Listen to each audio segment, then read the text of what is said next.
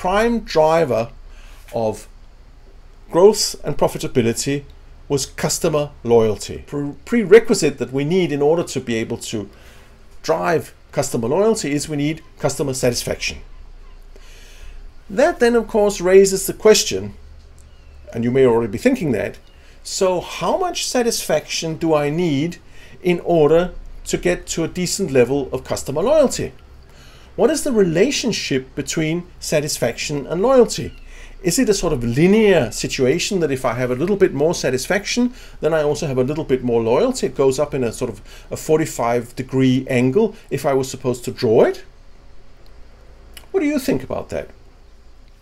The other lesson in this is that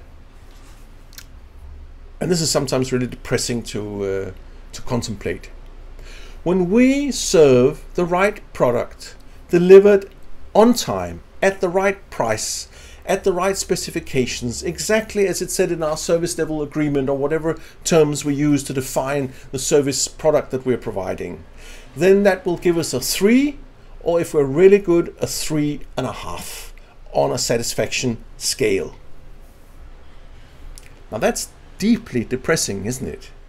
What other instruments do we have left that are not related to the actual quality of the product and that would actually move the needle the last bit? They create an emotional connection between the service provider, the waiter or the receptionist or gas station attendant or whoever it was who did it, did something out of their own accord that somehow established a positive connection with that person.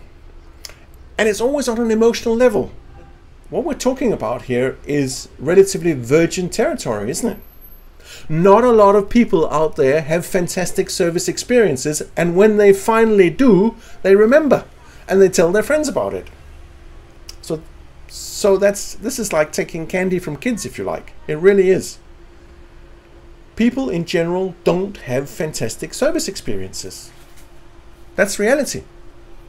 Think of your own situation.